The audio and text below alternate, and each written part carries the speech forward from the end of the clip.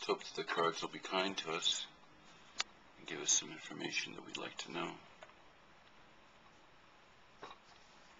What can the cards tell us about Kim Twaddell? Kim Twaddell. Kim Twaddell. What are the reasons? What are the reasons that she died?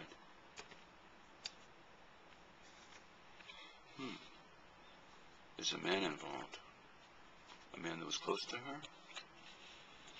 A man who essentially caused her death because of that death card.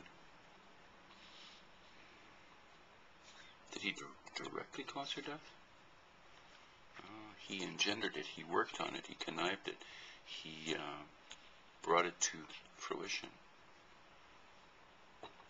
Is this a man that she knew very well? It's a man whose behind. It's a man whom she was extremely disappointed with. I don't know if we dare ask the identity. Are the authorities investigating her death at all? Hmm.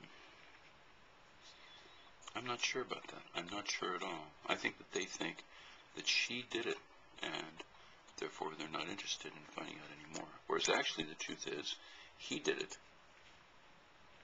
The Queen of Pentacles, the King of Pentacles. Could be her husband.